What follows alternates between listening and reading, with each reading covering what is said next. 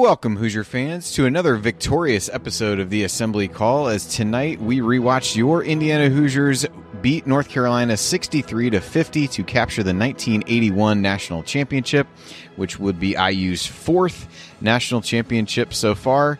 Uh, on what was a tense and traumatic day for America, when all of our thoughts and best wishes are with President Reagan and his family. Uh, based on the updates we heard throughout the broadcast, it sounds like they're uh, very optimistic about his recovery after having to undergo surgery uh, after being shot earlier today. Uh, there was a lot of question about whether this game would actually get played. That seemed to hinge a lot on on Reagan's health, and the NCAA eventually made the decision to move forward with the game. And uh, and from an IU perspective, while we we certainly are are thinking of President Reagan, uh, it's an exciting time for IU uh, to win this national championship. To watch this team that has really turned things around after a slow start, uh, you, you play so well throughout this entire NCAA tournament run. Uh, and so tonight, after getting the go ahead uh, shot to play uh, just 20 or getting the go ahead to play the game just 27 minutes before tip time, the Indiana Hoosiers defeated North Carolina, as we said, by a 63 to 50 score. Uh, at this point, only UCLA and Kentucky have won more national championships. And as I was alluding to before, this win really brings uh, the season full circle for IU. They're ranked fifth in the preseason, stumbled out of the gates to a nine and seven record. We're seven and five in the in the non conference, and that included a nine point loss at North Carolina. Uh, but IU lost just two times since January 22nd, and they can now claim ownership of one of the most dominant NCAA tournament runs we're likely to ever see, winning the five games by an average margin of 22.8 points per game, uh, with tonight's 13 point margin actually being the closest. I'm your host, Andy Bottoms, here with Chris Williams and Scott Caulfield, and we're going to break it all down for you on this edition of the Assembly Call IU postgame show. And let's start this show the way we start every show, and that is with our banner moment. And, and for me, uh, this is, I guess, more than a moment, and it even spans both halves. But at the end of the first half, Randy Wittman drained a shot. He got really hot late in the first half, and he hit a shot at the buzzer of the first half to give IU its first lead of the game, and a lead that IU would never relinquish, uh, despite you know going into the locker room with that momentum. Sometimes going in uh, can slow that down. That was not the case at all for IU as uh, they came out forced turnovers early. Isiah Thomas with a couple turnovers that led to layups for himself in transition, uh, made a couple other shots. He he scored uh, I think eight points uh, really early in the second half, and IU scored on nine of its first 10 possessions as they carried over that strong start from the first half into the second half and really never looked back from there. I believe in total a 20 to 8 run over that time that turned a one point deficit into an 11 point lead. And North Carolina, I think, wouldn't get back any closer than seven uh, with uh, the for the remainder of the game. So just a really key stretch for IU. They started slow. Uh, bounced back. North Carolina got up 16 to 8, and then IU really ratcheted up the defense and got things going offensively and just blitzed the Tar Heels coming out of the locker room. Uh, to really pull away and assert their dominance in the game and, and set the stage for what would be uh, an exciting celebration of this fourth national championship for IU. And our banner moment tonight is brought to you by some company named Homefield Apparel. Now, look, you may not have ever heard of Homefield Apparel, and that's okay. We're here in 1981, and Homefield apparently isn't going to even be founded for another 37 years. But some guy by the name of Hitchcock reached out to me earlier this week and told me about a premonition that he had, which involved his future grandson founding an something called an online apparel company, whatever that is. And I was like, okay, sure, crazy old man, but he paid me a dollar to run the ad, so we said okay. Uh, this old guy was talking about all kinds of crazy stuff, like the Cubs, Red Sox, and White Sox all winning World Series, the New England Patriots becoming the greatest NFL dynasty of all time, and O.J. Simpson being accused of murder. This guy's crazy, but I really insane stuff with no reasonable chance of happening. But the apparel thing still sounded interesting, so he claimed his grandson would graduate from IU and then found a company that would have the most comfortable t-shirts and hoodies available anywhere and that they're going to have old IU logos that haven't been seen in decades. For example, apparently they're going to bring the bison back, which Indiana hasn't used in over a decade after discontinuing it in 1969. Anyway, apparently it's going to be incredible, and he had some more gibberish that he wanted me to tell you, and he said it was very important for me to be precise and for you to write this all down. So go to homefieldapparel.com. What does dot .com actually mean? Uh, well, I guess if you figure that out, then you're supposed to use the promo code assembly20 to get 20% off. Look, none of this makes sense to me either, but hopefully it will at some point. All right, now it's time to move the ball, find the open man, and get some opening thoughts from the rest of our team. Which tonight we'll start with Chris Williams. Chris, uh, what are your thoughts on this 13 point IU national championship victory? Well, you know it's um, it's interesting because I was uh, thinking about what Coach Knight would say at the end of this game, and it was probably going to be very similar to the fact that um, a slow start is kind of uh, been the Achilles heel of this team all season. But we saw that early on. We saw um, a team that was, you know, really rushing their shots, really not able to penetrate the zone, that one three one zone, and, and variations of it that UNC was throwing at them. But a, a, team that just came out and dominated the start of the second half. Those first five minutes, um, Indiana went on a 12-4 run uh, and had a lead of nine, uh, and really never looked back from that from that point on because they finally were able to get UNC to make uh, the same ill-advised shot selection that Indiana was making in the first half, kind of flipped the script a little bit, and uh, Randy Wittman just you know got red hot in the first half. First half, obviously had, as you mentioned, the the shot at the end of the first half that kind of uh, uh, put Indiana ahead by one and really kind of set the tone for for what they wanted to do going into half. But that that that opening stretch of the second half uh, just was was the game. Um, Al Al McGuire talked about it. Uh, you know, there's a lot of things that I thought he said that I kind of scratched my head on, but there was he made a lot of good points, and that was the big one that uh, the first few minutes of that second half was was the was the reason Indiana won the game, and and um, it was amazing to see the defensive tenacity really ramp up. And Indiana was forcing UNC and even their leading scorer like Al Wood to make shots uh, or you know shoot shots that were not the kind of shots that they wanted, and it really got frustrating for UNC. You could see because they began to commit fouls and uh, and and force you know Indiana to go the foul on when Indiana was just trying to run down the clock um, halfway through the second half on each possession. So, uh, really impressive second half after a really sluggish start for the Hoosiers. Definitely was. And uh, now let's throw it to the final member of our team for tonight's postgame show, Scott Caulfield. Scott, what are your thoughts on uh, tonight's big victory? I mean, fourth banner. This is awesome. I have a hard time putting it, you know, kind of into words. So I'll just say this, you know, I'll just say, this is it. Make no mistake where you are. This is it.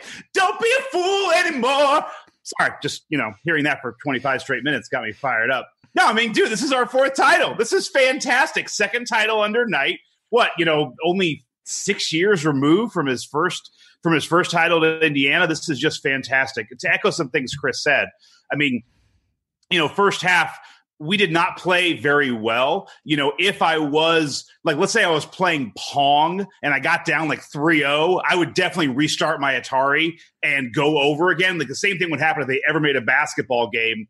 I would do the same thing here as I restart this game because this game just did not start well for us. But you saw the great defense that we had, the fact we had great help defense. Again, Isiah showed just how, how quick he is that I mean he was cheating everything, but he could do it because he could basically go down to the post. He could double anybody who didn't have like if, if his guy didn't have the ball, he was doubling because he'd always get back to his guy in time. Um, you know, I, I, think we'll talk about all the. You know, Isiah had a great game. We'll definitely talk about Landon Turner. He was fantastic. You mentioned, you know, Wittman was great. I think Landon Turner in the first half was also a key part to a spot where we went from down twenty to fourteen to bring it back to twenty to twenty. Um, but you know, the other thing too that kind of that that, that you know stuck for me was in that second half. You know, Chris was saying that UNC took some ill-advised shots in the first half. I agree. In the second half, they had a pretty good amount of mid-range shots that were open. They just didn't hit. And I think that you know we were playing good defense, but their inability to hit mid-range shots and our ability to hit those, then play great defense, um, really made the difference. But I mean, you know, again, our hearts go out to what's happening in Washington tonight. But a great win. I mean, our fourth title, the Spectrum's ours, baby. I mean, Spectrum's ours. We own it. I agree. Just play all the play all the games there. Uh, yeah, that, that, seems like the way to go.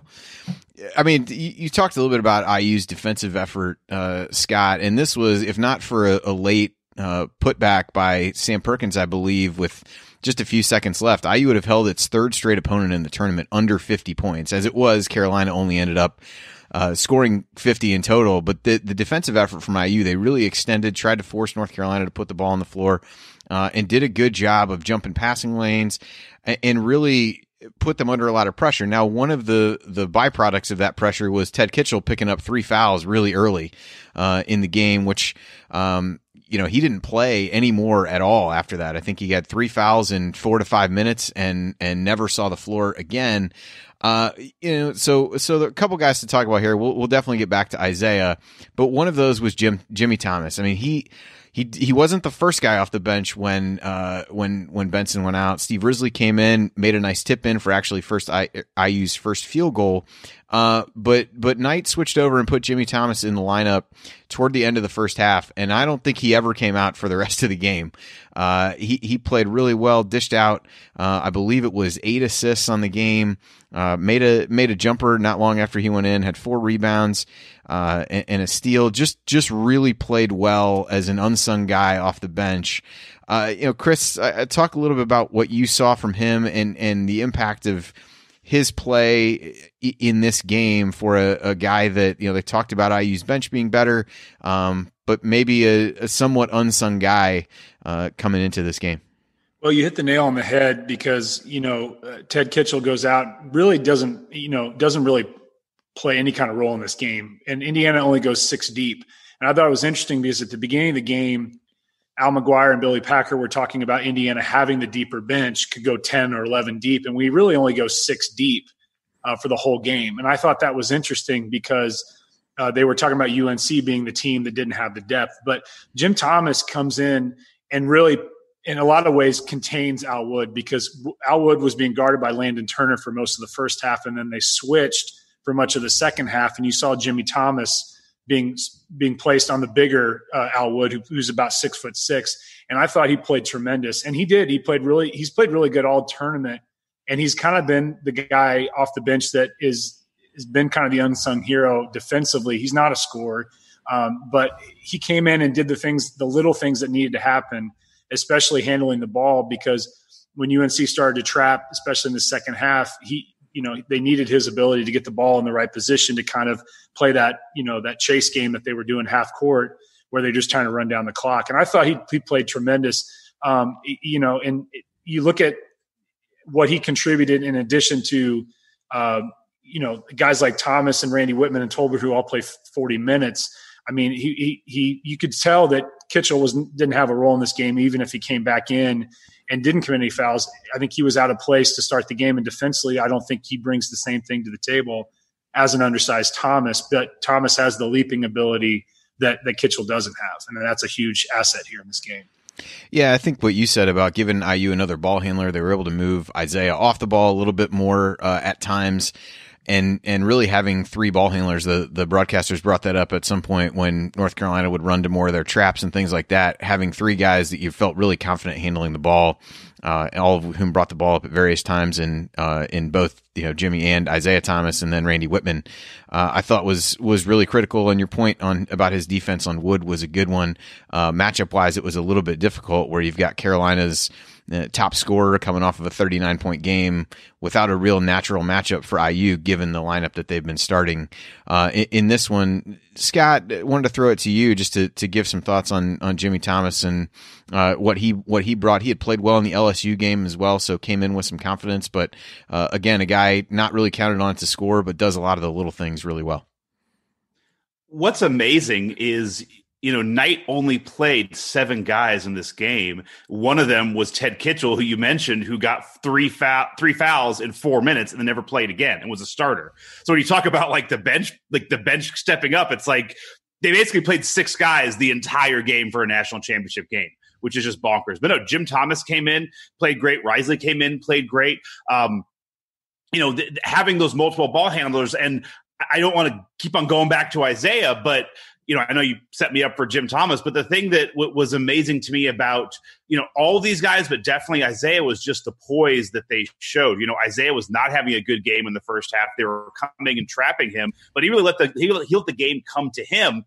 And, you know, he let Wittman bring up the ball, let Thomas, you know, handle the ball more. Where I think, you know, some other point guards might have been like, all right, I need the, I need to get the ball. I need to, you know, get it in my hands. He really kind of led the offense at times from being off the ball, which I thought was a really, you know, very, very um, advanced thing for a, a sophomore to be playing like that.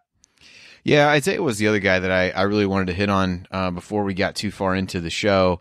Uh, I mean, can't so, wait for him to come back for his junior year. It's gonna that's going to be yeah, that's going to be great when you think about who's who's back from this team. You only lose Ray Tolbert, um, who you know played 40 minutes as well and, and grabbed 11 rebounds. But yeah, it's exciting to think about what this team might look like. Uh, it, you know, you go to Isiah, he was one out of seven, I believe, in the first half from the floor, ends up seven of 10 in the second half, uh, finishes the game with a, a game high 23 points, five assists, four steals, um, and and really they used. I thought Knight. It was interesting how he used him. Used him off the ball as we talked about, but also you know putting him kind of in the middle of the zone uh, when when North Carolina would be there. They talked about on the broadcast Knight trying to put him at the free throw line and and put him in positions to play. Uh, so, Chris, were you surprised at all about the way that that Knight deployed uh, Isiah in this game? Uh, certainly, the results uh, speak for themselves, but uh, you know, just just thoughts on you know kind of what you expected coming in versus what he actually uh, was, how he was used in the game itself. Well. The, the theme all season is kind of letting Isiah be Isiah, no matter what. He's kind of been unrestrained, and that's un- unique for Knight because he's not historically been someone that has led a player regardless of their ability kind of run the show they way the way they want to. And you could see it at times when they were in the half court set the motion offense was not moving like it would traditionally. It wasn't a pass and a, in a quick cut. There were times where the, the floor was much more spread out which i thought was interesting. And you kind of saw uh, isiah trying to to orchestrate what he wanted to see on the floor. But I think I think a lot of, in the first half, Isiah forced way too many shots. I mean, he was one of seven from the field in the first half, and I think you you expected something different in the second half. I mean, he didn't. You know, he took over the game tonight in a way he didn't against LSU. I mean, in the LSU game, Landon Turner was the star, and Isiah actually didn't even play. He only played like 29 minutes in that game, but tonight he plays all the minutes. And even you know, he he committed some ill-advised turnovers, but he was backing up players. He was playing at, at, the position where kind of in the center of that zone, and he was doing things that I think Knight just trusted him uh, to do what he needed to do. And I think that he had the ability to get himself into positions where he was forcing UNC to foul him and get him to the line or try to force a turnover. And again, you could see in the first half, Isiah forced a couple shots. He forced some ill advised passes, but he really settled in and you could see it in the, in the beginning of the second half where he had those two steals converted to easy baskets. I mean, that's where he's his best is in transition. And it, you could see if those are if those things are going well for Indiana, they weren't going to lose the game.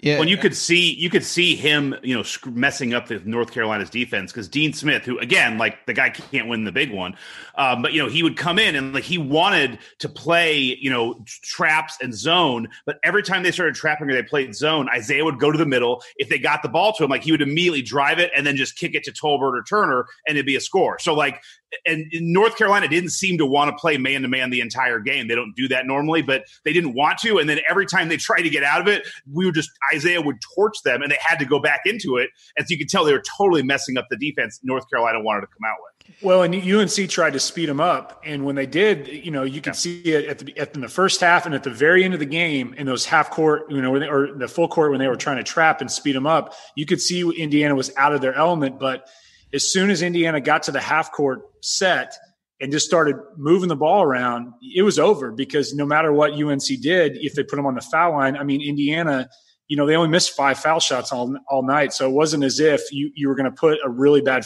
free throw shooting team on the, on the, on the line. Indiana was going to convert them. Yeah, just a, a, handful of plays from Isiah to touch on briefly. Picked up a, a, key third foul on James Worthy toward the end of the first half, where uh, I think I think it was Billy Packer didn't didn't love the call, um, but did kind of get run over by Worthy. That was a big one, and, and really when he wasn't taking the best shots in the first half. He did get himself to the free throw line a few times and uh, managed to make some big shots there.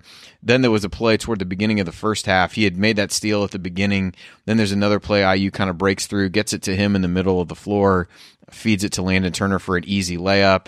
Uh, that was a that was a big play, and then a couple of when they would spread North Carolina out back cuts. There was one where it just seemed like I think it was Jim Thomas threw a pass, seemed like it was going to go over his head, but he just reached out, snagged it, and laid it in uh, toward the end of the game to really just push the lead a little bit further. And so, just you know, a guy that you watch and and it's it's exciting to think about what he can become because he's already um, you know putting him in a position to make those kinds of plays, but just makes things look so easy uh, out there as as as you go through. Just an exciting guy uh, to watch, and uh, and I'm sure we'll talk more about him as we go.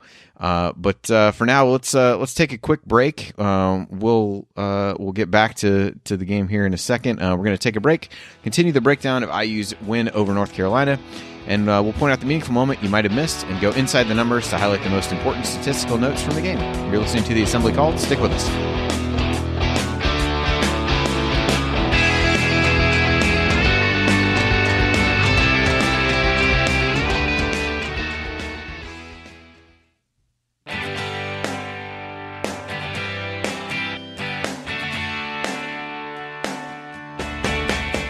This is Jordan Hulls, and I never miss a shot or an episode of the Assembly Call. You are listening to the Assembly Call IU postgame show. I'm Andy Bottoms here with Chris Williams and Scott Caulfield, and we are talking about Indiana's national championship game victory over North Carolina by a final score of 63 to 50.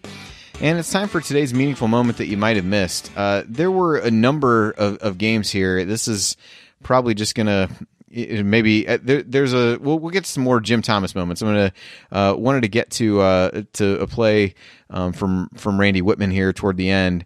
Um, it gets you know, we talked about the play before the uh, before the before the half, but a few other big plays from him really toward the the end of the first half got IU going and and he was a big part of that. He made I think at one point hit jumpers on 3 out of 4 straight possessions.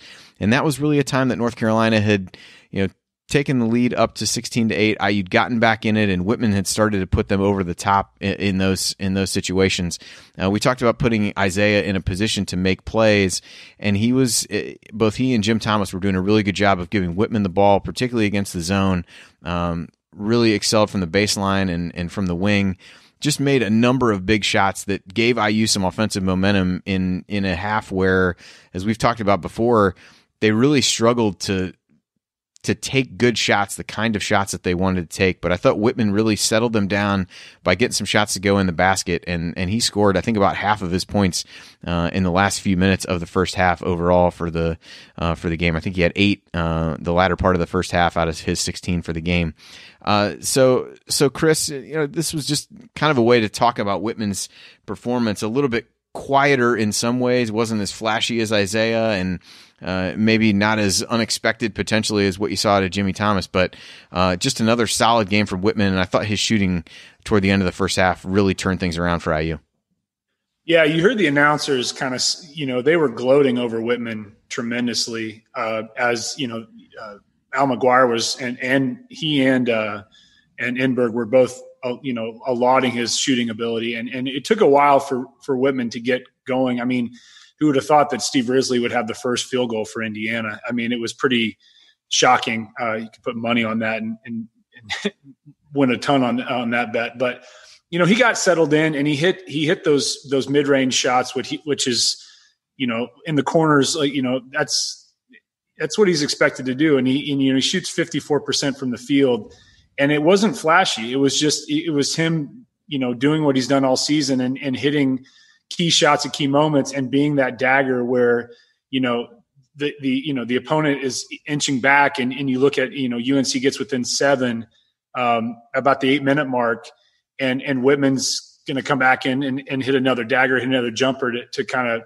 seal it back up again and, and increase the lead. And, and and he was the guy that you know he played all forty minutes. You know, and you think that toward the end his legs were going to kind of you know go out from under him as as it does if you're going to play every minute. But he was rock solid, and you know, you know, a guy like that handling the ball a lot too is is is something you wouldn't expect to see. But it, he just played tremendous. I mean, he only had two turnovers. Um, wasn't a huge factor inside rebounding, but his, you know, he hit key shots when he had to, and that's what you expect after out of, out of a guy. And I know Knight had a lot of confidence confidence in him on the floor. Yeah, I thought one of the other he did grab some some big rebounds late, and they they showed a, a lengthy exchange between Knight and Wittman. Uh, toward a little bit toward the end of the game, IU was on a you know on a run and showed them talking to each other on the sidelines. I think that was another one just clearly a conversation between uh, a couple of guys who really had great respect for each other and what they were talking about. I think Knight even took a timeout shortly after that to, you know, sort some things out with the rest of the team based on whatever he and, and Wittman had talked about.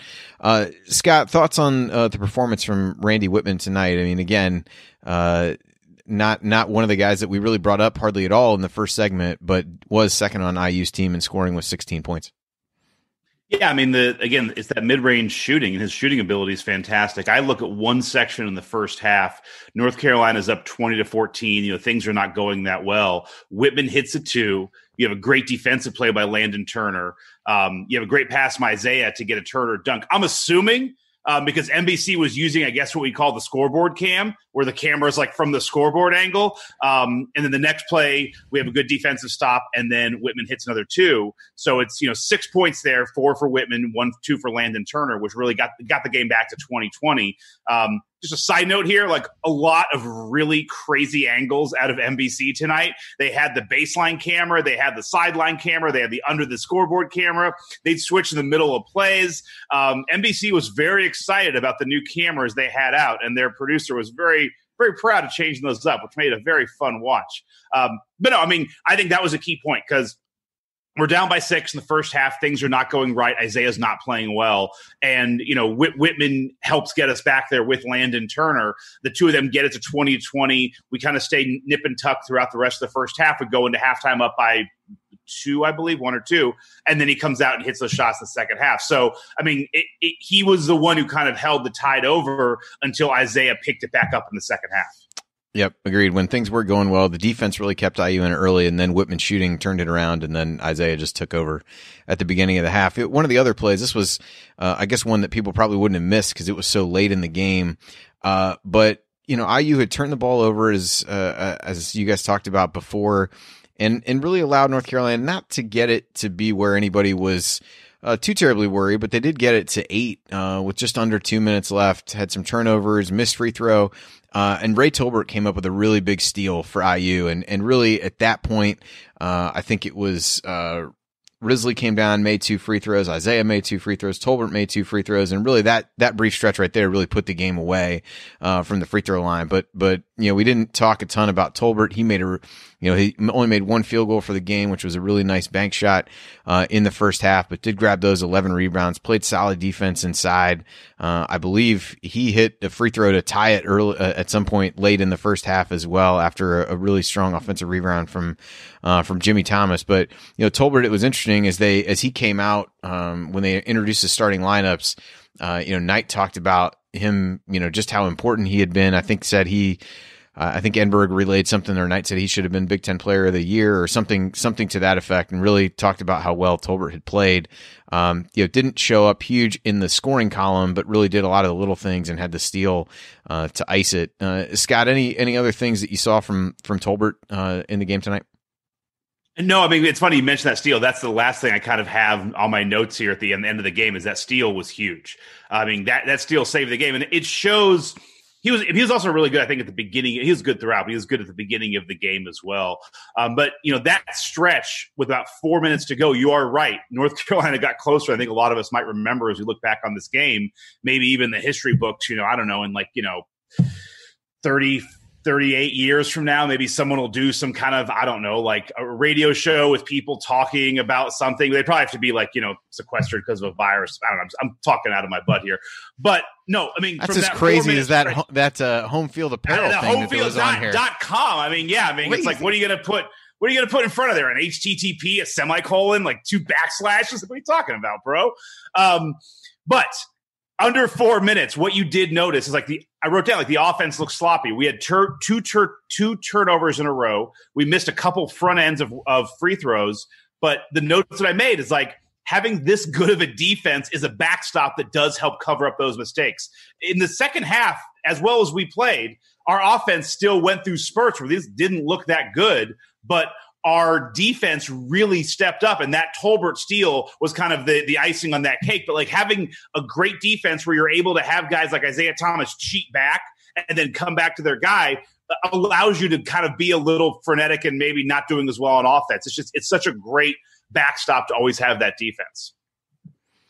Yeah, defensively, they I, they really uh, the turnover number got a lot closer uh, toward the end of the game because IU didn't take great care of it late. But it was, I think there was an inbound play, and it was North Carolina had 17 turnovers and IU had just seven, uh, and those were really uh, those were really really big, you know, big for IU to really gain control of the game in the second half.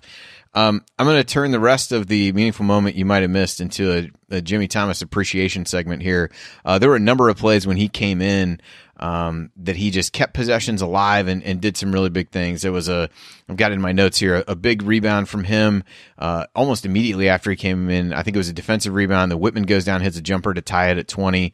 He had a deflection that stopped a fast break late in the first half when IU was uh, still down two.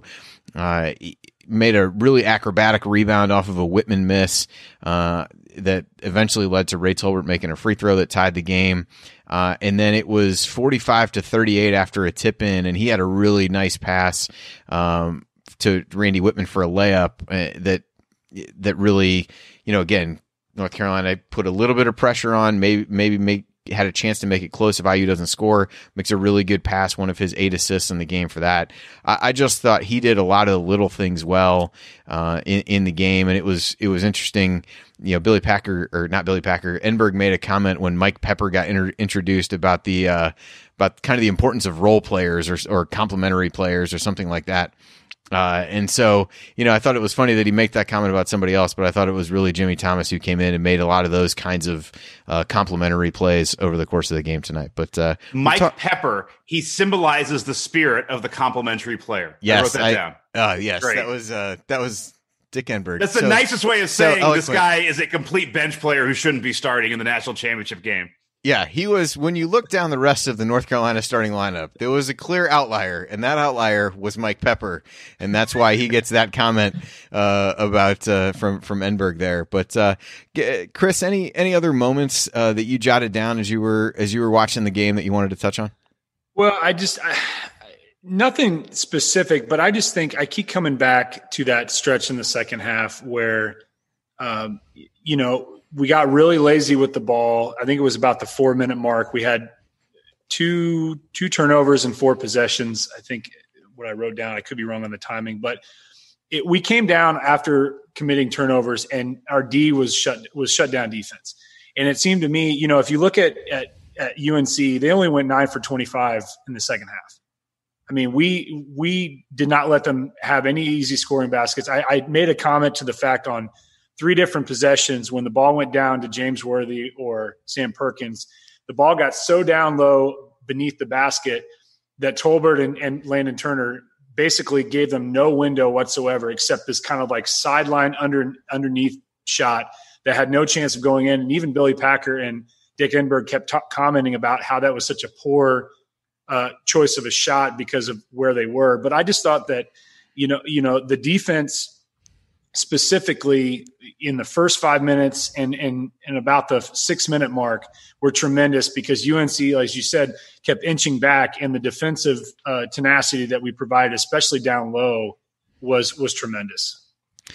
Yeah, it was uh, those plays that you mentioned were that was one of the few good things to come from that baseline camera angle was you, you saw they were basically for, forcing Perkins to catch the ball almost behind the basket. He shot it into the underside or the backside of the backboard once it uh, essentially resulted in a turnover and then had a couple other shots where he was just trying to flip it there and just didn't have an angle uh, to do it. So despite the fact that Carolina had some you know, really tough players inside, IU forced them to catch the ball in positions that were really uh, difficult ones for them to make plays and uh, and really cause them some struggles there.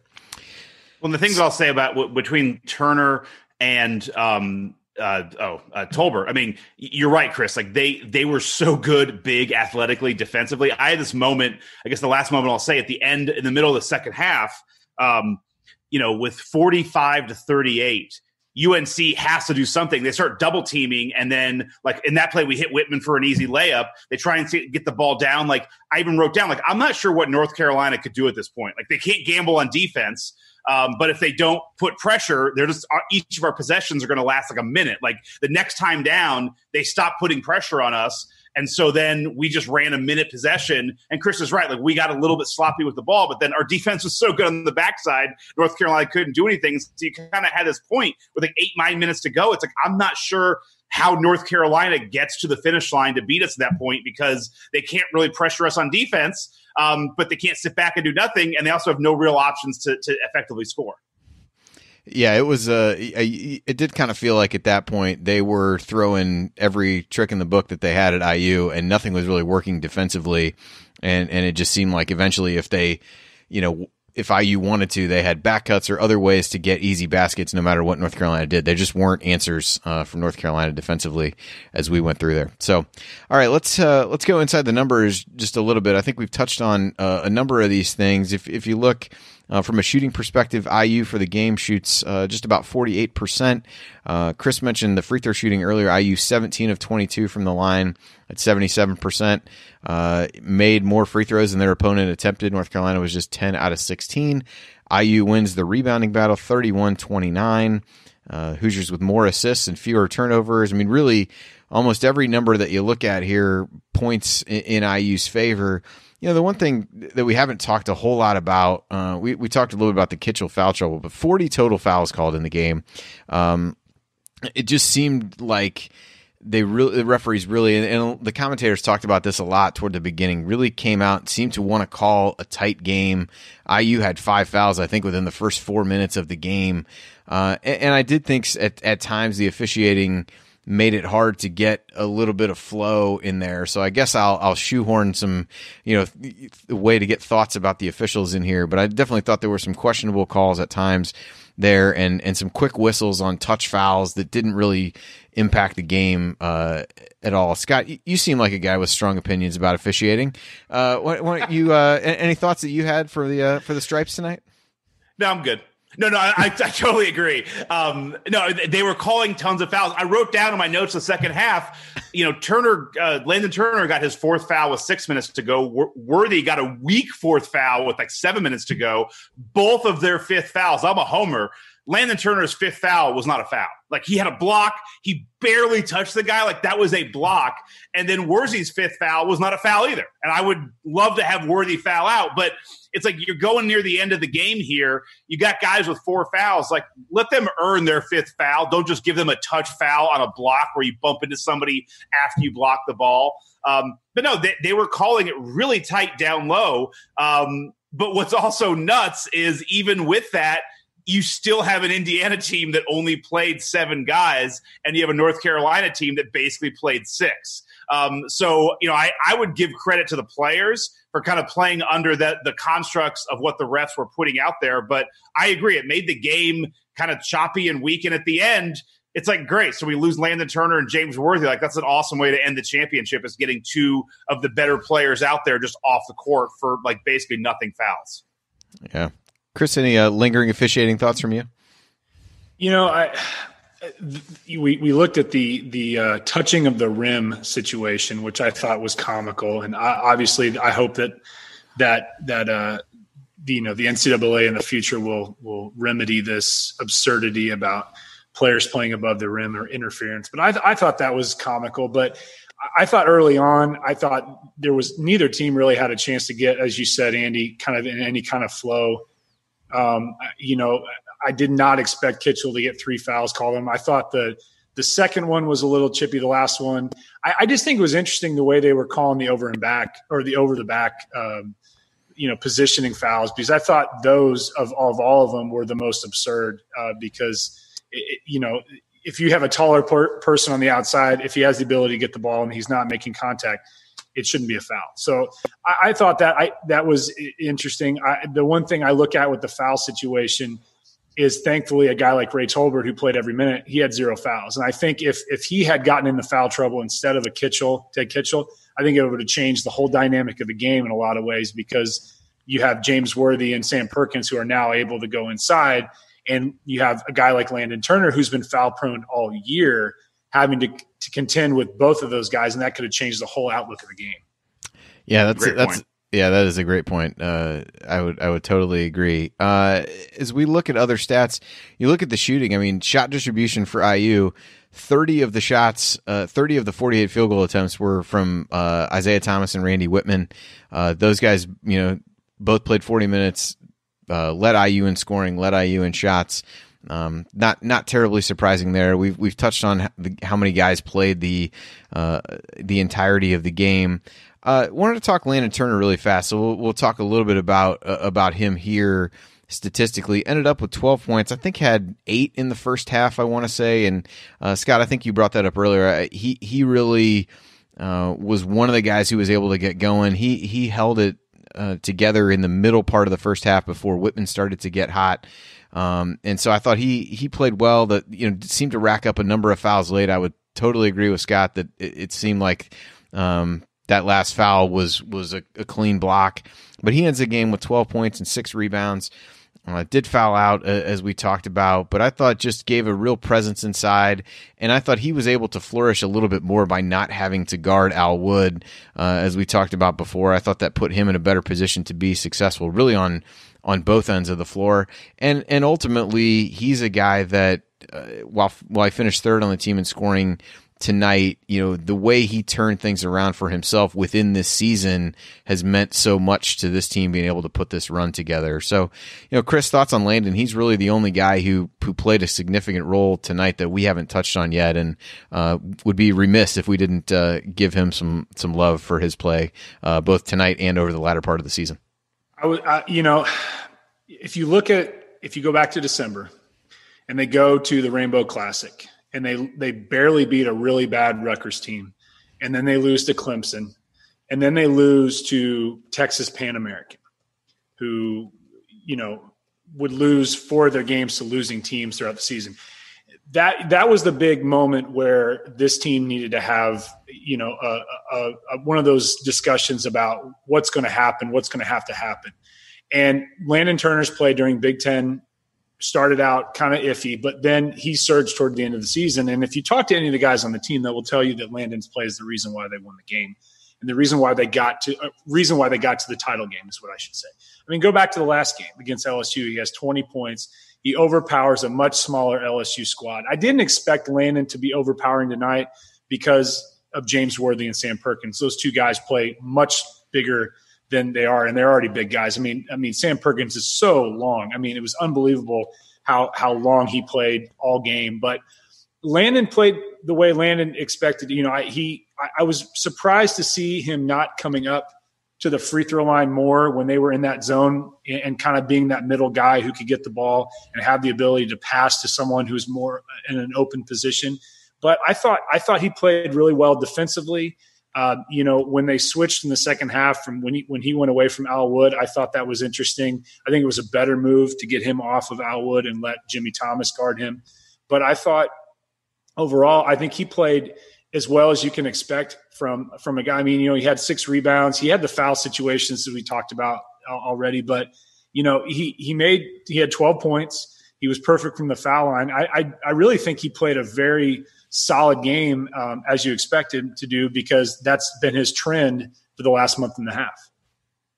Yeah, I mean, really, it was in my mind. It was a story of three players who, who helped this team along. In the beginning part of the game, I thought it was Landon Turner. I thought his defense and you know those plays he made when when Indiana was down by six in the first half was there. You had Wittman kind of at the end of the first half, beginning of the second half, and then you had Isiah kind of take it home. Everybody else obviously made good contributions, but Landon Turner to me was key in the beginning part, and he was so good defensively. Him and Ray Tolbert on defense was just it, it, they could not you know you, you have sam perkins you have james worthy you have a lot of great height on this unc team and they could not exploit it they were settling for mid-range jump shots because of the defense landon turner and tolbert were playing so yeah i mean T- turner was great again i would say like you know i know we're going to get to mvps at some point and it probably all goes to Isiah. But you know, Landon Turner and Wittman were two guys who held things over in the first half and the you know end of the first, beginning of the second. Um, so yeah, I think Landon Turner was fantastic tonight.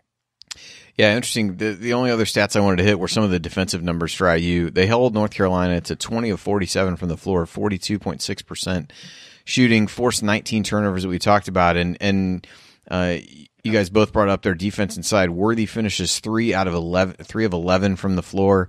And even Al Wood, who, who led North Carolina in scoring, had 18 points, less than half of what he scored, uh, in the first game of the final four when he had 39 and, and was six of 13. So IU really made him work, uh, for, for anything that he got. He was one of the only guys that could score, uh, much at all for North Carolina in the second half. And IU, uh, you know, again, holds a, another opponent to 50 or fewer points gave up just 24 in the second half to North Carolina. And, and I thought the defense, in addition to the strong play from Isiah, really set the tone at the beginning of the second half. Uh, any other stats jump out to you guys that we uh, that we haven't touched on? Uh, you know, you'd kind of like to see at times maybe some other ways to look at these stats. This box score is fairly simple uh, as you look at it. May, it makes you wonder if maybe there's not another way we could uh, look at some of these numbers, but maybe in maybe in time. I, I just think you, you, know both of these teams. You get, I mean, you look at how defense affect. You know, plays a role. You know, they they talk about defense creating offense. Both these teams were about the same field goal percentage wise coming into the game, and Indiana shut down a, a UNC team and held them to forty three percent uh, for the entire game. And I think that you know you're expecting Al Wood to have a good game. You probably weren't expecting him to have a record setting performance like he did against Virginia, where he scored 39. But I think that in many ways, if they could contain Al Wood and not let him go crazy, then Indiana felt good about winning this game. But I just think that the second half defense, only allowing UNC to shoot nine of 25, is just tremendous. And you expected this to come in at some point. And and whether that was late in the first half or beginning the second half when it really kind of began to show its momentum, it, you expected this Indiana team, which has ridden its defense all year, to finally show up, and it did. I mean, the only stat that I would point to again, we've we've hit almost everything else, but I, I, do think it shows to the conviction of, of, what Bob Knight does as a coach and the and the values he believes in. That you have Ted Kitchel, who's our fifth leading scorer this year. Um, you know, and and sixth place is you know three points for Jimmy Thomas a game. Kitchel's averaging nine points a game. He's averaging um, where's the rebounds here? Um, uh, three rebounds a game. He's averaging 27 minutes a game. To take a starter like that and be like, hey, you made three dumb fouls. By the way, you're sitting the rest of the game in the national championship game. Your fifth leading scorer, a guy who normally gives you nine points, and then you go on to get down by like eight points to North Carolina in the middle of the first half to not bring him back in. That shows that you know Coach Knight has some hardcore values where he's like, this is this is the way it's going to go, and I don't care what game we're in. This is the way I'm going to play it. Here's the other thing to add on to that, though, that shows you, and obviously the trust that he has in Jimmy Thomas because he went, he had yeah. a great game against LSU. He had nine rebounds and came in in a similar position off the bench, and he comes in and leads the team with with the assists uh, with eight. And and clearly, you know, you're not going to get the the offensive capabilities that Ted Kitchel has, but he knew he was sending a message to Kitchel, but he knew that he could trust Jimmy Thomas, and that made the difference. Yeah, yeah, I think that was uh, definitely interesting. I think another thing you you like to see from Knight is that he found you know Thomas really played well toward the end of the first half, and he stuck with him coming out of the locker room in the second half, and he played the whole second half. So, uh, you know, I think just they eventually got to the point where they had a lineup out there that they felt comfortable with, both offensively and defensively. And I'm not convinced that if Landon Turner doesn't foul out in the second half, that they don't just ride those same five guys the entire 20 minutes, because ultimately the only sub that was made in the second half for IU was uh, when Risley came in uh, when uh, when Turner fouled out. So. Uh, all right, we're we're almost to game ball time now. I don't I, I don't know. I don't want to influence anything. I know Knight was named the the guy on the broadcast, but I have acquired an advanced copy of Sports Illustrated, which does have Isiah Thomas on it. Now, this is not meant to uh, you know to sway anyone's vote in a given direction. So something to think about for you guys during the break. But Sports Illustrated, at the very least, uh, has dubbed him Hoosier hero Isiah Thomas for the champ. So uh, you know potentially more to come from there. Uh, I'll let you guys think about that during the break. Uh, and when we come back on the assembly call, we'll hand out our game balls. We'll talk about what aged best, the worst from the game, and then we'll try to put it into the proper historical context. That's all next here on the assembly call. Stick with us.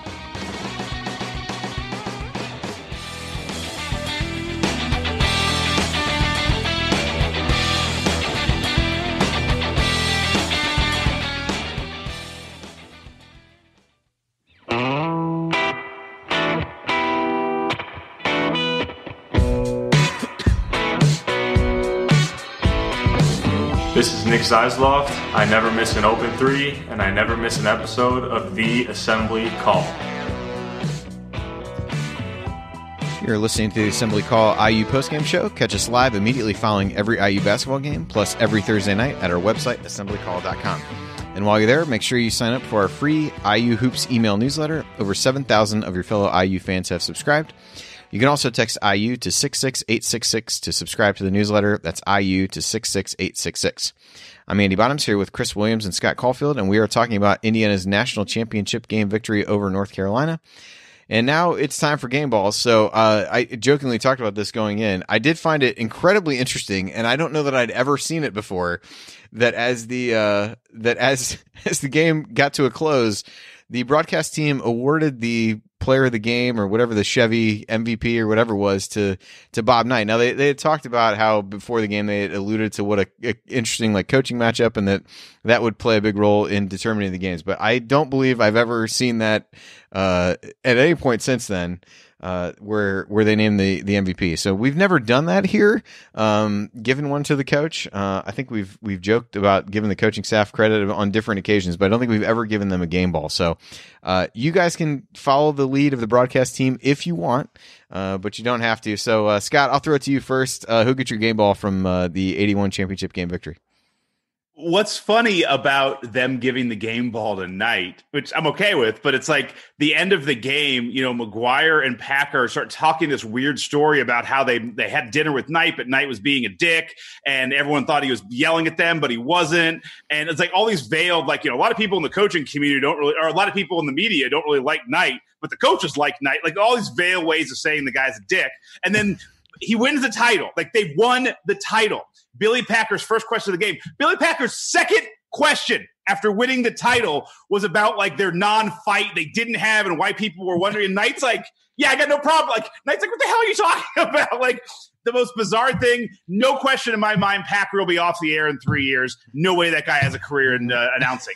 Um, my game ball you know, you have to mention Landon Turner, you have to mention Wittman, but to, to, me, the game ball goes to Isiah Thomas. Isiah Thomas did not have a good first half of the game, but when we got going, he was the one who got us going and pushed us ahead.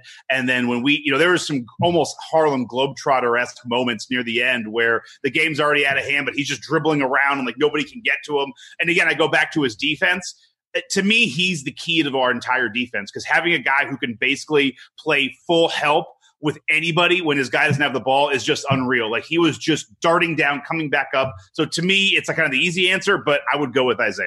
Yeah, some of his anticipation plays on entry passes, or there was even one within the last like minute of the game where I think it was Doherty had been throwing the ball way down the court, and he basically baited him into trying to do it again and stole the ball. I think in the final minute.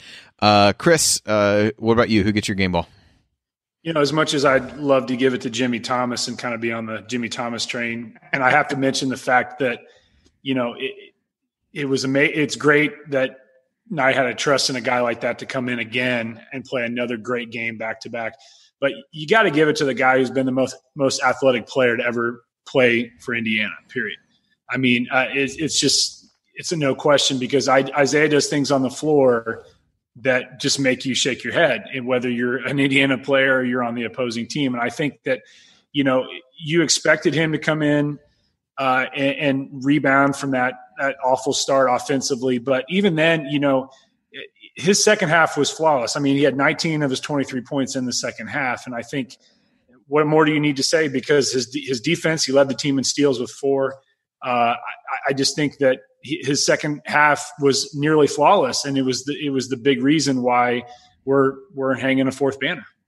Yeah, it was interesting. One of the shots he, one of the few shots he missed in the second half was he was kind of out in front of everybody. Took one of those patented pull up jump shots, and then you know they talked about him, you know, clapping, being visibly frustrated with himself for missing. But yeah, he did uh, did very little wrong in those two those two stretch. layups he made. Those two layups he made off the steals were just picturesque, beautiful. I mean, the, you know, he just held himself up there for so long. It was just, it was glorious. Yeah, what they say on the on the broadcast, IU doesn't have a fast break. Isiah Thomas is the fast break or something like that. So yeah, I'll uh, I would agree with you guys. I'll, I'll concur. I think his second half and the way he played to start the second half really put the game away for IU and put it to a point where North Carolina could never really come back. So clean sweep in the game balls for Isiah Thomas. So all right, so now as we've been doing with these rewatches, kind of talking about what age the best and the and the worst.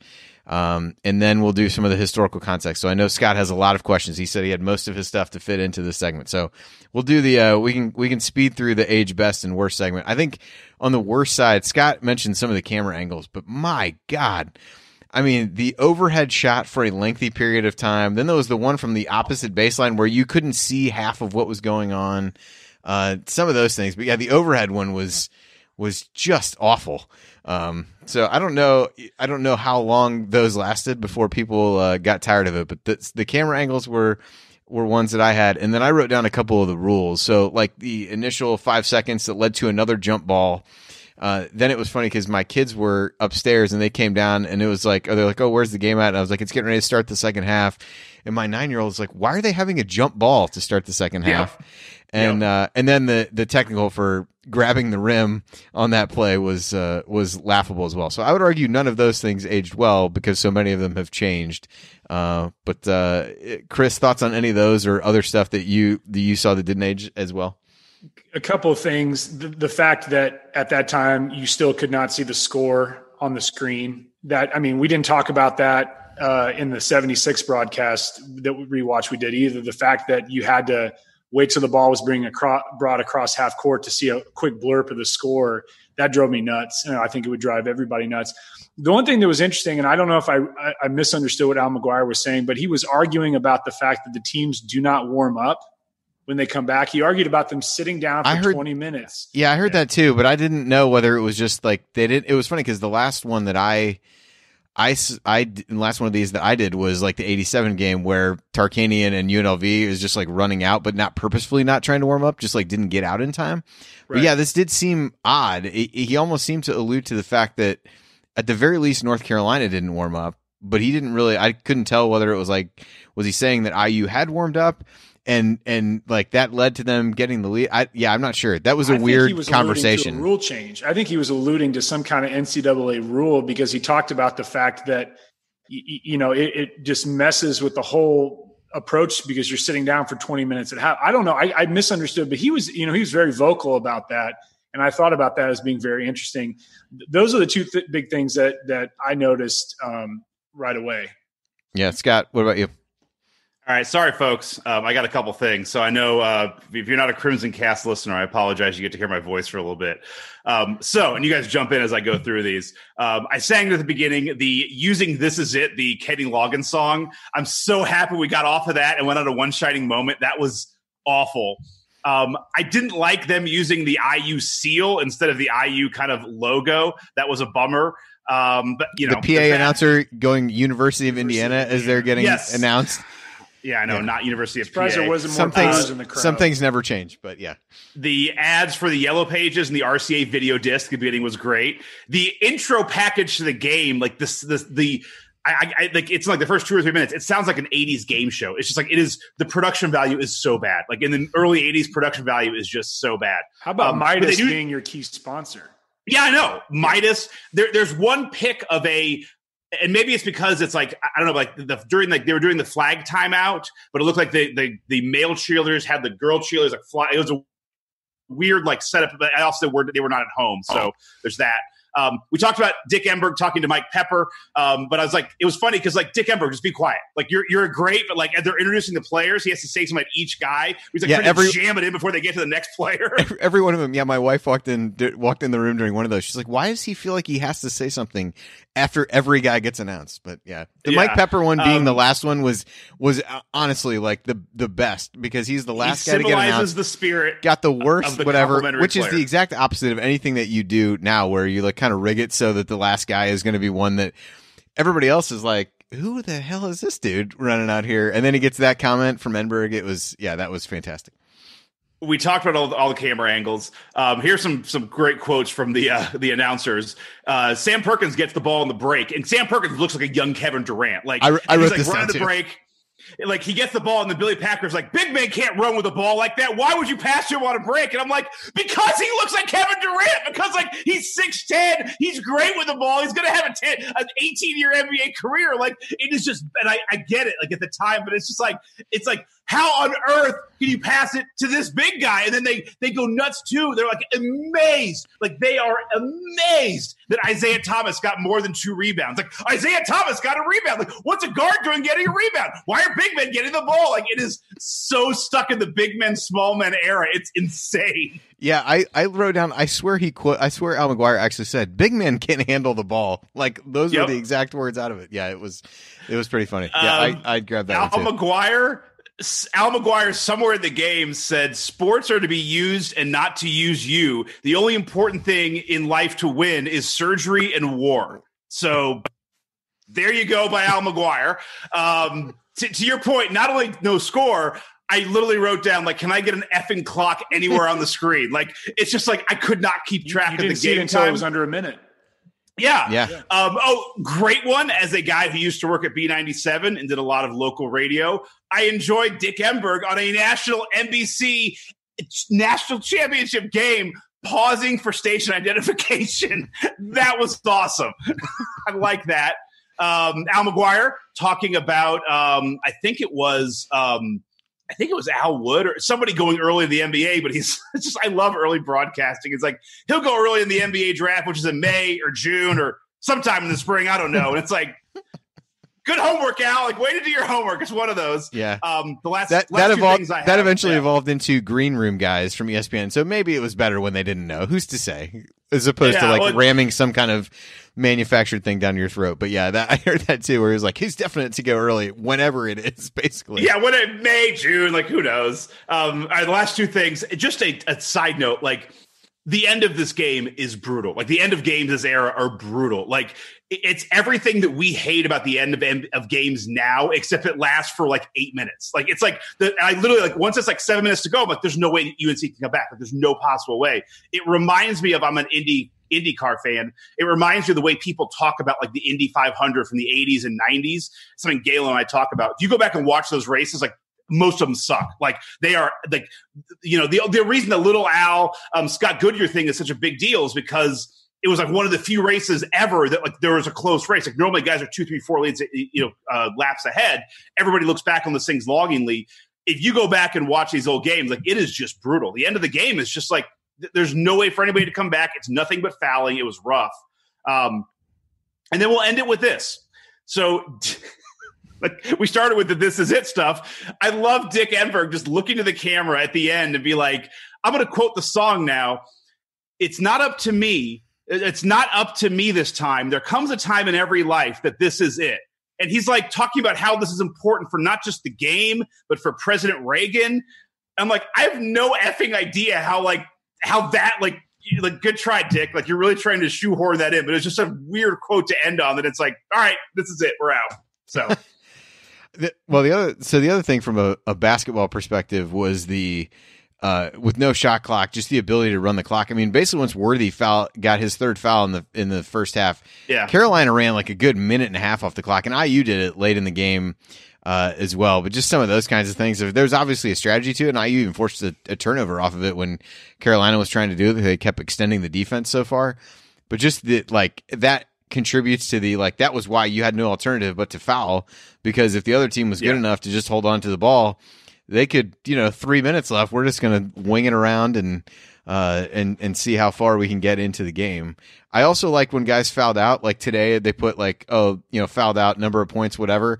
Both Landon Turner and James Worthy. It's just like the quote underneath it, or the, the words underneath them are, has fouled out of the game. And that was it. Nothing else. It was, so I thought, I, I noticed that as well. Um, all right. So that was a lot that did not age well from the game. Or, so it- did anything age well for you? Uh, Chris, Oh, I'll throw yeah. it back to, I'll throw it back to you. Oh, Chris. good. No, so, so, go, Chris. Yeah. Yeah, I mentioned this in the seventy the rewatch we did for seventy six. The uniforms still remain timeless. Uh, the the jerseys, the the uniforms, the shooting shirts, the candy stripes. That that that that little touch that that Knight put on everything is still very much alive, which is great. Um, I thought it was Agree, interesting. agree a thousand percent. Like that, that shade of red is just great. Like those uniforms are fantastic. It's beautiful. Uh, the interesting thing, Al McGuire said something early in the broadcast about the difficulty winning your second title, and I, I kind of was chuckling because I was like, "Yeah, well, Al, you didn't win your second title, so you got that lone one." But it, it is interesting because they talk about Knight being the sixth coach at that time to win his second title, but it is something if you go back and look about at, at you know the, all the teams that won only one title, they're all obscure universities they're all obscure teams. You have your LaSalle, you have your Wyoming, all these weird teams. But it's interesting about the fact that it is difficult even today. I mean, you have your perennial teams that do that, but you think about the teams like Virginia winning a national title. You know, when is is that something that's going to be coming easy again for Tony Bennett? It, you know, winning that second title is just such a difficult hurdle. And I, I thought that was interesting because I, I McGuire was all over the place for me in in this game. It was it was hard to listen to him but I thought that was interesting. The last thing that aged well for me was that amazing blazer that Dick Enberg was wearing, which was that Hoosier red, which I thought was in fuego. It was beautiful.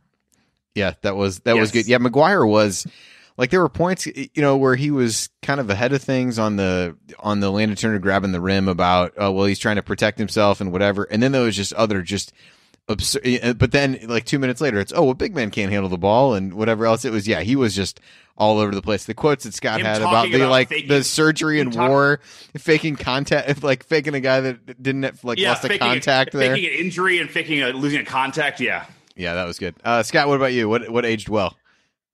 I mean, so Bryant Gumbel, like still going, like still on HBO Sports, like 39 years later. Um, you look at this crew. I mean, we're joking about him, but Dim, Dick Enberg was going until 2010. McGuire went until 2000. Billy Packer went until 2008. Like 28 years after this game, all those guys are still going. Don Fisher, who we didn't hear, was on the radio, is still on the radio now. Like that is one thing I will just say all of us are, are in a similar generation, um, age wise. You know, Galen and I went to school together. We were at WIUS. Like, this is what sucked about getting into sports radio and sports broadcasting the time I came out, which is why I went a different path. Is like, everybody who was there like was experienced in the in the like, you know if i wanted to get on there it's like well i couldn't get don fisher's job because like he has been there 15 years. No idea. He'd still be there when i'm 43 years old. And, like dick enberg's still there. Like it's like once you got a job like brent musburger like you're just good. Like hey i'm gonna have this job for the next 48 years whether i suck or not talking about context. Um I loved the IU pep band getting the national anthem and the crowd singing it. I get it. Like it was a big night with the Reagan shooting and like they weren't sure if they're going to play the game or not. So just having the crowd sing it was great. Um, we talked to Randy Wittman a lot like go look at it. Like Randy wittman played like I think 13 years in the NBA. He retired a year before isiah Thomas did. Like at the end of that game, if you were like, hey, um, Randy wittman's going to basically play one less year than isiah in the NBA, you'd be like, all right, that's insane. But Wittman had a had a really really good NBA career. Chris, you mentioned the Dick Enberg jacket. A thousand, like it's got to be mentioned again that, that Jack, and that's a, that's an ode to IU. It's an IU guy, you know, calling the game. Um, I I did notice when they came out from halftime, they showed they showed the scoreboard of the Spectrum, and it said just no smoking in your seats, which is just a great like remember that like it goes back to the movie Airplane, like the, the half the jokes are about you know getting a smoking section, and my kids today would be like, "What? I don't." It makes no like who can smoke on a plane, but yeah, like there was a time where you could just smoke anywhere in the Spectrum, you just couldn't smoke in your seats. Um, we talk about McGuire. Last thing I'll say too is I loved after we won the title, we played the alma mater song, you know, the Frangipana song, not the pep song or the, the fight song, which I, I I've always loved that song. And the only time it really ever gets played is in kind of the preamble to IU football games. They they do the national anthem, they do uh, back home again in Indiana, or they mix it up, but then they always do the when the band comes out, they always play the alma mater. And I, I've I, I love that song, and I wish they would bring that back more into basketball. And I love the fact that after we won the title, that was what the band played initially, and then went into the fight song. Yeah, I noticed that too. That was like immediate. That was the first thing that they that yeah. they played, and and it's funny that you say that because I hadn't really thought of it that way. But yeah, I mean, I remember that even from being you know, eight years old going to IU football games and always remembering him hearing that and, you know, watching my dad who had, you know, been there, you know, singing the, and learning the words to that then, but you never hear that uh, from a basketball perspective. So yeah, I did notice that when yeah. they were and, going to that. I mean, it, I mean, they could have just went sorry, right into last, this is it had they learned that in time. Yeah. But I mean, and the, the last thing I'll say too, you know, Andy, you mentioned about Knight you know the, the, thing that's interesting about Knight because I the last rewatch that, that Chris and I did together with Jared was the uh, the 2002 IU Kent State game, and it's like it's it's almost eerily weird. Like let's just assume that team won the title. That would be like if then Dane Fife was coaching IU now and winning his second title. Like that's how close removed Knight was to winning a title as a player in 1960. Like as they're talking about, it's like, oh, you know, Knight won in the 60s. And it's like, yeah, like in 1981, that was only 21 years ago. And you know, it's it's a little bit off, but like that would be like Dane Fife just now having two titles, like this young. It's just it is nuts to think how close removed he was to being a player, to being like that good and being a two-time national champion with a undefeated team and basically a team that only lost one game in a season. Like that's bonkers. Yeah, it was, and even to just you know, watch him a little bit on the sidelines. I know they talked about that a few times, where like it was him watching a mini tennis match or some kind of you know weird thing that that, that they talked about the way oh, yeah, that, that, he weird, was that weird little cam of, of what him what Knight watching the game in the in the box corner. That was yeah, crazy. Yeah, because it came up like right after I, I, forget whether it was Packer or McGuire said that or like oh just we're just watching Knight Well then you know the next possession. Uh, they they've got him in there, but really he was uh, relatively subdued from an official standpoint, and nobody really worked him too terribly much, but he was, you know, he a, a couple times would get frustrated with some of the turnovers and things like that, but uh, a couple defensive breakdowns. But I, I've it definitely felt like offensively, he just had such a confidence in what this group of players was going to be able to do on the offensive end. You just didn't really. There, there were very few times outside of you know a turnover here and there that he really got up and talked to anybody about something that was going on uh, offensively. And this was really just a, you could just tell it had gotten to be at a point where it was a team that he was really comfortable with. I think he alluded to that in some of the post game uh, comments. Another thing that didn't age well, the the interview for anybody who stayed on and watched, like with Wittman and Isiah Thomas, was arguably like nothing was actually said or really asked at any point. It was it was awful, and it actually. It was like you got nothing out of them, and I know sometimes you don't get a lot out of players, but in this case you didn't get anything out of the players because you didn't really ask a question at all. Yeah. It was just a really odd interaction. It's like uh, so. Yeah, yeah. Then, it, like you're waiting for the the players yeah. to actually, yeah, yeah. Yeah, well, and then wasn't I, I, remember that, and then wasn't Wittman kind of like, "Hey, can I say something?" Like, yeah, he's like, "I want to say hi to all my friends back home." It's like Isiah, you had to ask permission for that. Like, yeah, Isiah was the one that wanted to, yeah, kind of say hello to his family. That was it was just weird, and I think yeah. the one thing they're probably like, "Well, hell, if you're not going to ask a question, I might as well just say hi to people on camera." Well, the one thing about that is that the player you're asking the players in the moment of just winning the national title, and some of them they they can't even be thinking straight about what's just happened. And I think that was that there was that awestruck moment for both of them. And I think that you know, yeah, the, the questions were bad, the responses were bad, but I think in that moment, you know, women said it hasn't sunk in yet. I just think that they just couldn't comprehend exactly yeah. the moment because they were just overcome with with emotion. Yeah. So, all right. So now, now we'll try to do this some historical justice. And I know Scott, you said you had some questions. So, uh, you know, a couple quick things just by way of of talking through this. So you go to the next season. Uh, at that point, uh, you know, Tolbert was the only guy set to leave. Isiah Isiah Risley, Lee Risley graduated, and and Risley did. Sorry, was the only starter. Uh, Risley oh, yeah. graduated. Then Isiah goes pro. Landon gets in the car accident, and you really, at that point, the following year, your your top three are Kitchel, Wittman, and then Jim Thomas moves into a, a larger role from a scoring perspective. Uh, and then you had Uwe Blab come in, uh, Steve Bouchie. Those were your top five scorers on that. So for all the positivity of if everybody comes back that's supposed to come back, and I, it, it's hard to really, it, it's hard to envision a scenario where there was strong belief that Isiah would come back based on what he had accomplished, but it, it's hard to kind of put yourself in that in that moment. Information was different all those kinds of things. But you know you close out the game if everybody comes back that has eligibility compared to what actually did happen was a pretty big uh, a pretty big change and and the circumstances of some of that uh, with, with, Landon's car accident and and paralysis were uh, were tragic.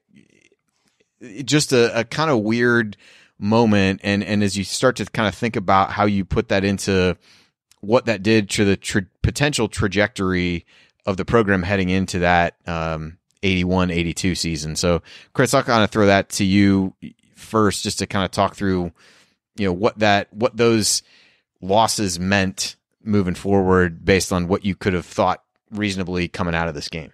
Well, I mean, if you look at you know what happens in kind of that range from from 81 82 until they win in 86 87 you, you don't have a consistency of you know you have the 83 big ten championship obviously but if you look at that 81 82 team you're putting jim thomas in a role of having to be a reliable scorer which is not something that he has been accustomed to doing. Uh, you, you know, obviously you have wittman and kitchel for two more years. It seems like kitchel is like a eight year player by then but you know his injuries obviously have played a big role in that but besides Kitchel and Wittman, you didn't really have anything reliable in 81 82. I mean, Uwe was still raw. Uwe couldn't catch the ball. Uwe's footwork was, you know, Uwe's footwork. But I, I think to me, that 81 82 is one of those seasons where you see one of the biggest drop offs after a title game. I mean, you could argue 87 88 was was a huge drop off, but I mean 76 77, you still have Jim Wisman, you still have Kent Benson, but with 81 82, I just think that there was so much dysfunctionality, and obviously they depended on. We were expecting Landon to be coming in and to be a guy that could be a Big Ten Player of the Year caliber caliber player. They were talking him up so much, Big Ten season, and obviously during the tournament, you talked, you heard the guys on the announcer announcement talking about how tremendous a player was that Landon was, even though he's not always in the spotlight. I think that changed the whole momentum of what was to come those next three years especially obviously you're not going to have Landon but one more season. But as a senior, Landon was expected to be infinitely even better than he, what he was in 80 81. And this is a guy who was the, on the all tournament team for the Final Four in, in the NCAA tournament. So I, I think that, you know, you have the bright spot in 83, which which is one of those if you if you know a lot about this historically and if you were in assembly hall um, you know, anytime in the last 20 years, you remember seeing that lone banner that was there that sig- signified that Big Ten championship. That's the one that Bob Knight alluded to as the fans willing the team to win in 83. But, you, you know, it's interesting what happens in those early 80s, you know, because it, it kind of transitions and transcends everything to some mediocrity with, with some of the teams, obviously the 84, 85 team that, that did not bode well and didn't even make the tournament um, it, it's just it's so interesting to see because you know that if you're going back to 80 i'm kind of going all over the place i know but if you go back to 80, 80 81 82 without even without thomas you know the, the the huge loss and obviously the tragedy of what happened with landon set in motion a lot of having to expect a guy like steve Bouchie and, and uwe to play roles that maybe they weren't accustomed to being ready to play yeah, Scott, uh, I know you said you had some historical things, so I don't know if uh, going through that touched on any of them or if there's a different direction you want to take it, but uh, I'll, throw it to you. No, it did. I mean, and that's I think the question. And Jeff Marlowe in the chat mob brought that up too. Kind of the question about you know if if Isiah Thomas and Landon Turner come back, you know what does 82 look like? That Chris hit that really well. That was the question I was looking at. I kind of took that from a different angle. Um, you know, I, I, think first off, it's a lot of variables you're asking. You're asking for a guy who's had no reason to come back to IU to come back, and Isiah Thomas, and then obviously a tragedy with Landon Turner.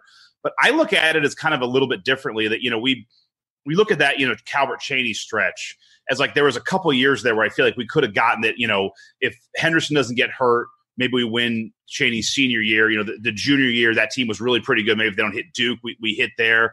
You know, that 76 team had a nice run as I look at this, you know, I look at if let's just assume Isiah and Landon Turner come back the next year, I think the landscape of basketball is really changing. I'm not sure it's to IU's favor in that, you know, you're moving forward next year, that UNC team adds Jordan. I mean, that team is just dynamically fast, big. They're playing Georgetown with Patrick Ewing. You got Phi Slamma Jamma in there in, in Houston. I mean, basketball got really athletic, really fast, really big, really quick. And – even if you add, you know, have Isiah Thomas and Landon Turner, like you still have Uwe, Uwe Blab as Chris. Like I, am not, sure enough. that IU team. Yeah, I, I honestly Uwe does not come in and replace what Tolbert did the year before. Right. Tolbert would have been better. I, I, honestly think this is one of those things where like this was our window. Like this was our year. Like let's say Isiah and Landon Turner come back.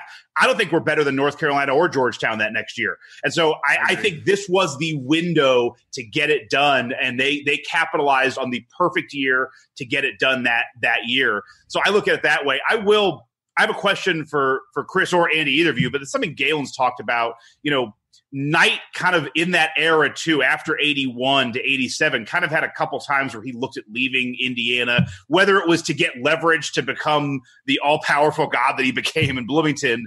We'll never know if he was really serious. But Galen's always talked about like you know if Landon Turner doesn't get hurt, Knight might have just left, and one of the reasons Knight stayed is because Landon get hurt. Um, like Chris, can you? I, I'm just curious to talk about that. Like, do you think there's any validity to that? That you know Landon Turner's injury is what kept Knight from kind of wavering off to do something else.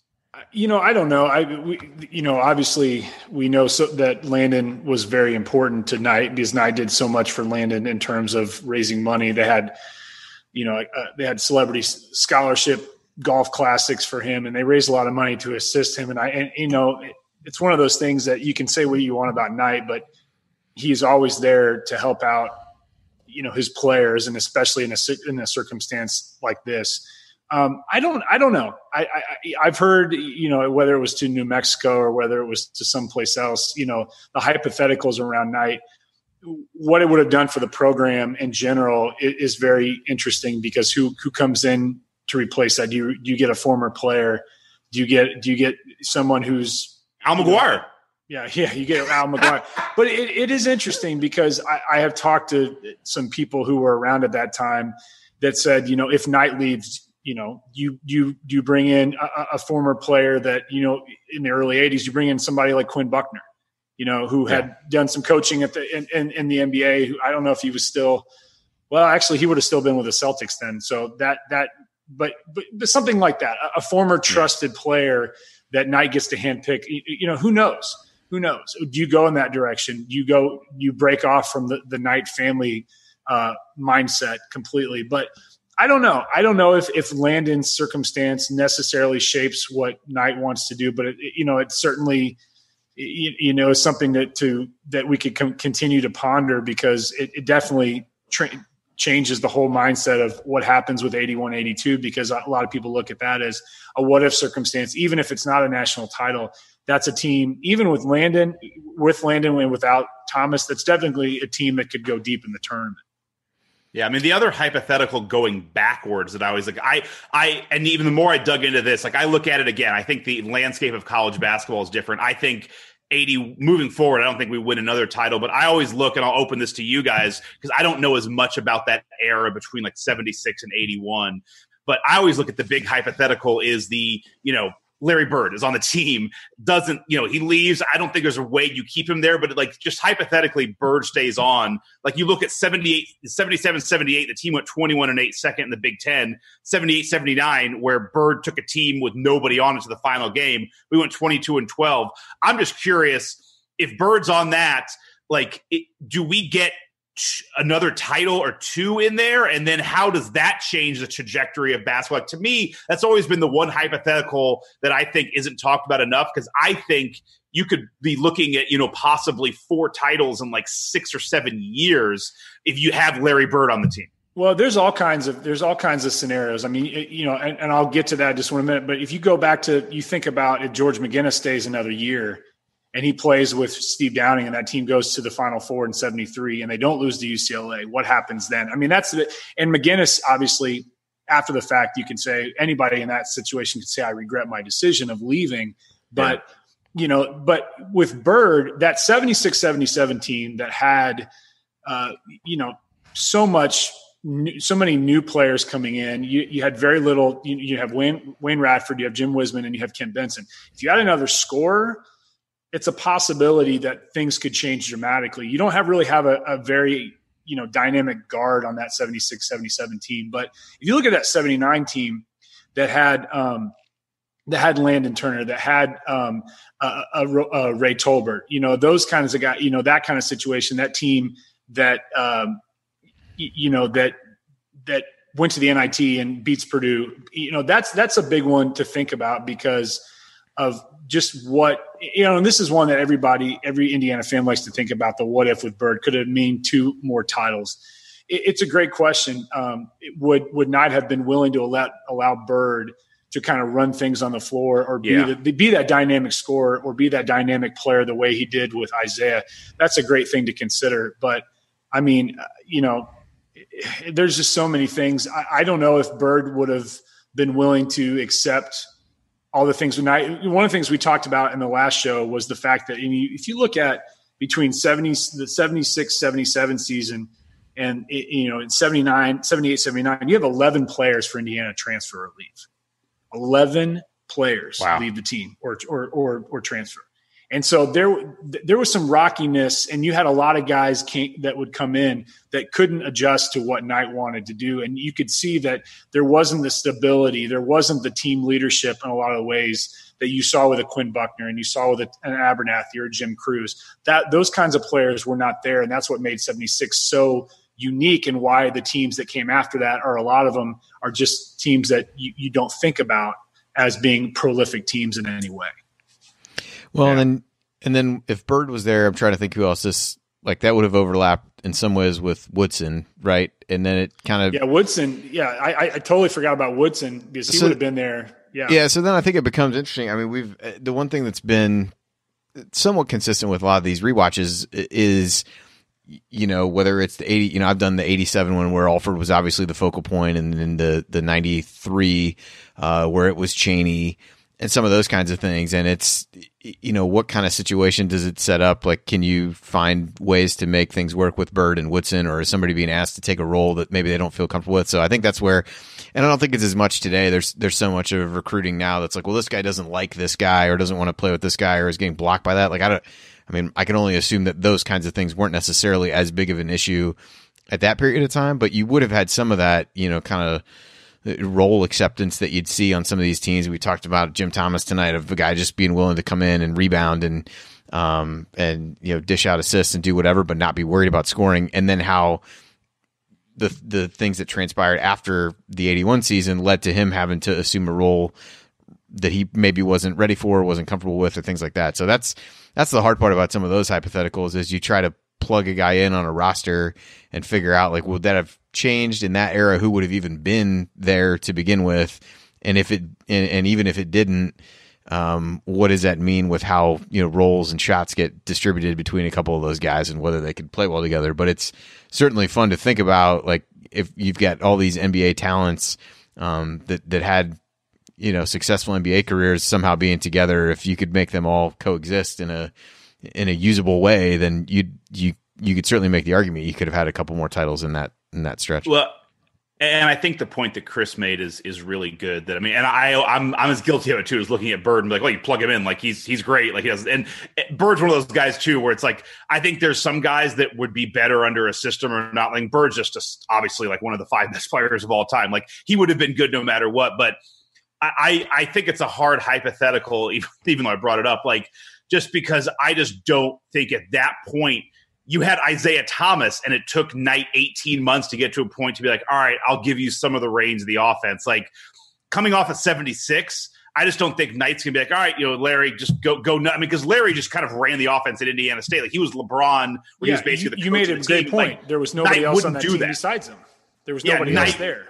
Knight would not have done that. Like there's just no universe where Knight's going to allow that, allow someone to play his own system and not Knight's system. especially especially in the immediate aftermath of experiencing such great success with that system. Like there's really no reason at that point to to bend and He's- say and, and you know he's also at that point you know already you know younger but still the hard-headed mentality that would be part of what he was throughout. But yeah, I mean at that point you're sitting on top of the world. You've had two of the best seasons that anybody's had over the course of time for you to say I'm going to go adjust this because of this one player was just I, I yeah I just don't know that that was a marriage that at that time based on what had happened could have ever really worked based on personalities philosophies whatever you whatever you want to say all right uh so I think we're we're running relatively long so we'll uh, we'll kind of stop the, historical context stuff there uh, reminder that uh, we've got one more of these left, although we may continue them into the off season. We'll we'll sort through that after. But one of the one more planned one left at least.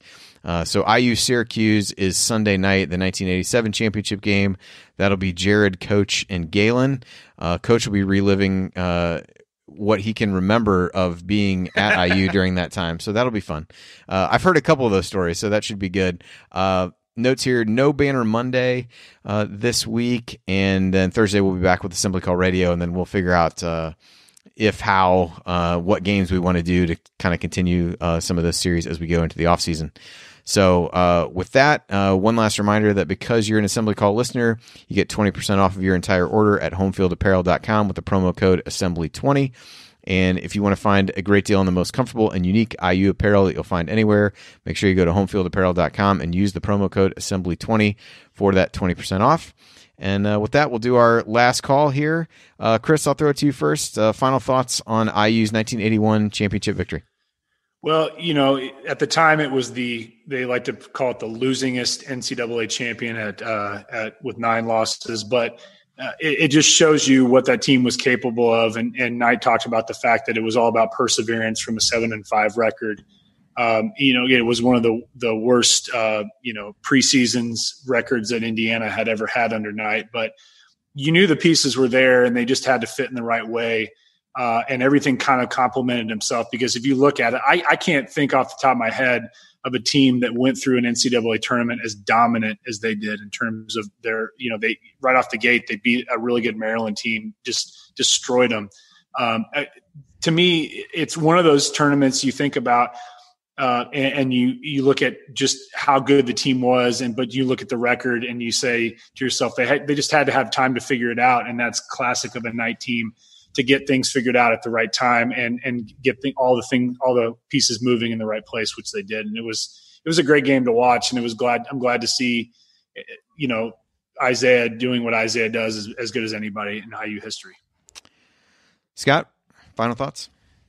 Yeah, I mean, it, this was. I've actually not. I hate to say it as an IU fan. I've, I had not watched this entire game before, so this was an absolute delight. Like to me, my memory of the game is always like that. Chris mentioned, like that Isiah, just the, the iconic image of him going in for the layup and just you know gliding in there. So it was really fun to go back and watch it. Like Landon Turner really stood out to me. I was like, Jesus, this guy is just a specimen. Like he looked so good. Um, and I mean, just it, it's it's awful what happened to him. And I remember thinking like his last play, just like that's the last play of his basketball career. Some ticky tack fifth foul. It sucks for so many different reasons. But you know, the, if you listen to like any of the ringer feeds, like they do like the rewatchables, they always talk about you know like who's at their peak. You can't say this was Knight's peak because Knight's peak has to be 76, but like this is damn close because he's he's on his game. And I've always thought of Knight as kind of like like you know nuclear half life. Like we, we've talked in many of these podcasts, like he has this ability to do, put together a great team and then kind of stops recruiting for a couple years. But like this was one of his shortest half lives. You go to 76 to 81, just like boom, gets it. 81 to 87 is a little longer. 87 to 93 is a little bit longer. Then it's like then it's just like the half life kept on going, couldn't get back there. Um, but you saw Knight evolving as a coach here too. Like he 76 was the best team he ever put together. 87 was also a really good team built around one tool in in Alford. Maybe 75. I see Chris shaking his head. But th- this was the, you know Isiah was the best basketball talent that came through Knight that Knight ever had in his hands. I mean, there was other guys who were really good. Cheaney might have been a better overall college player, but like Isiah is just a stud. I mean, Isiah is just amazing and obviously had a great career. Like Isiah was, and you saw Knight realizing, like, okay, I have something special here. I have to change some of the ways that I'm coaching. And you saw as this season progressed, you saw it with this team. Um, so it was, you know, it's it, it's it's great. And again, it's a bummer that like we're not like it's just the the grip that we took on basketball at this point, you know, with having the only what was like only the sixth coach to win multiple titles, coaching in Indiana, we have four titles. We're like third now of all schools at that point with three, you know, with four titles. We've just won two in like six years. Like we are, we're just unstoppable at this point, and it's just. It's again, these rewatchables have been awesome. It just sucks to be like, why can't we be there? Um, but anyway, no, I, I will say this is my last one. I have had an absolute blast. These have been an unbelievable delight. Thank you to anybody um, for for listening and watching and tuning in. Um, I know we appreciate it, but this has been it's been my honor to do these. These have been so much fun. So I appreciate you guys hosting these and getting these on there because this has been an absolute blast. I agree. I meant to say that too. Thank you very much.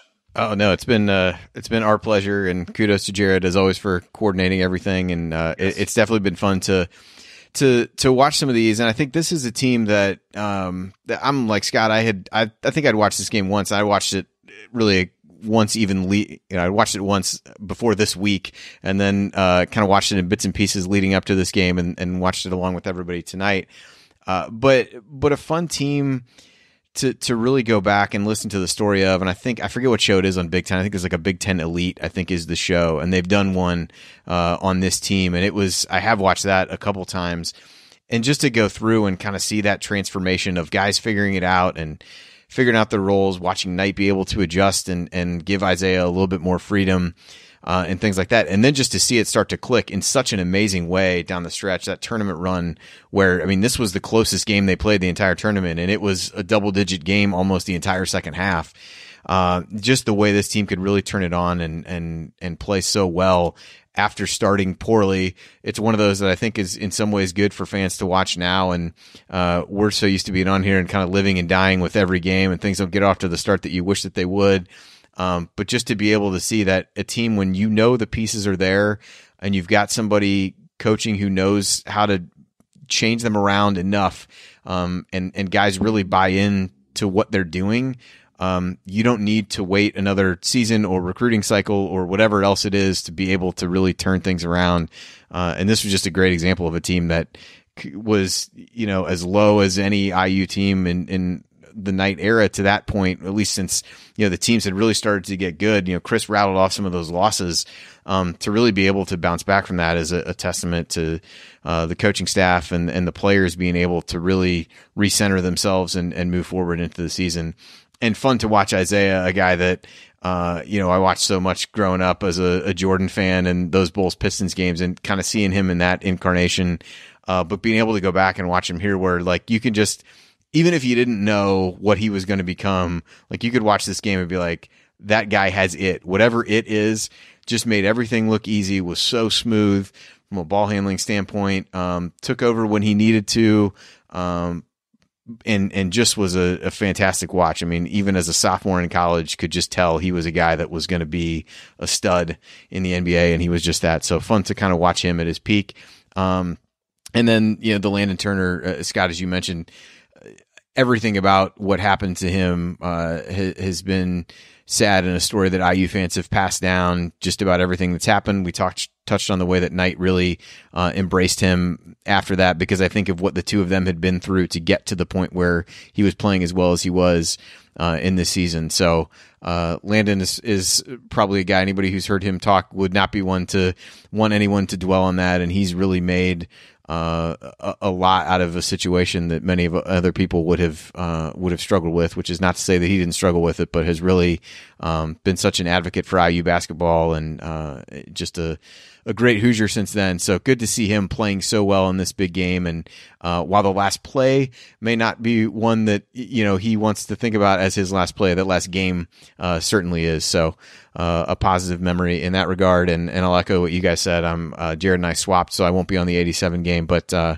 this has been this has been a lot of fun. Something that we've all talked about doing for a while, and glad we uh, we finally got to do it, albeit under not the best circumstances, but uh, we'll figure this out. I know we've all batted around ideas about other games that we might want to do, so we'll figure that out uh, after this run of these comes to a conclusion and uh, and go from there. But uh, so I'll uh, I'll wrap it up with there. Everybody uh, have a happy Easter. we'll be doing the IU Syracuse 1987 rewatch that night, so hopefully a number of you can join us then uh, or at least uh, check it out later on the podcast. And uh, thanks to Chris and Scott for joining me tonight. And uh, thanks everybody for for joining us. And uh, again, happy Easter. Stay safe, stay healthy, and we'll talk to you soon.